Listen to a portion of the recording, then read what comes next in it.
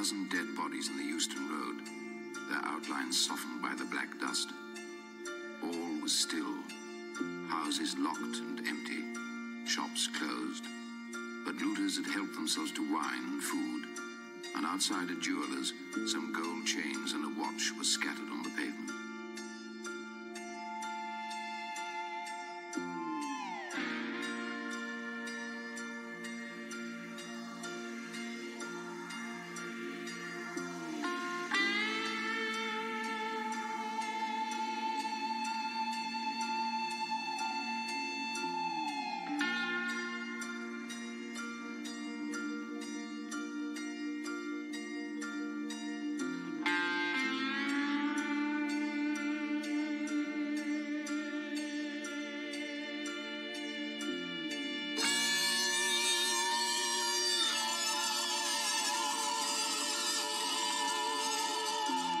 stopped, staring towards the sound. It seemed as if that mighty desert of houses had found a voice for its fear and solitude.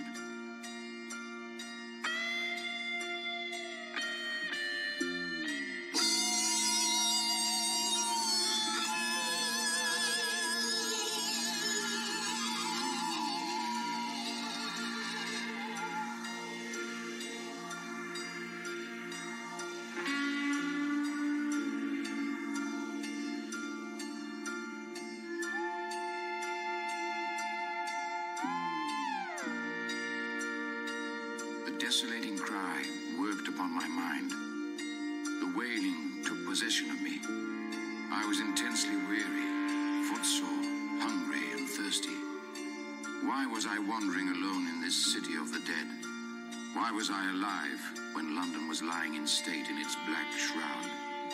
I felt intolerably lonely, drifting from street to empty street, drawn inexorably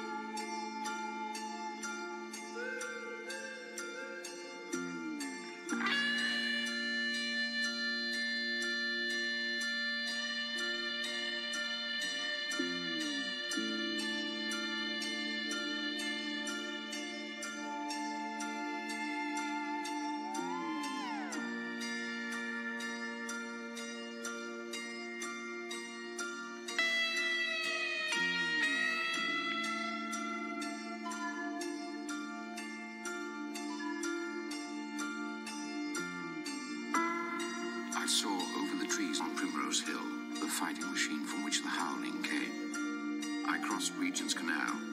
There stood a second machine, upright, but as still as the first.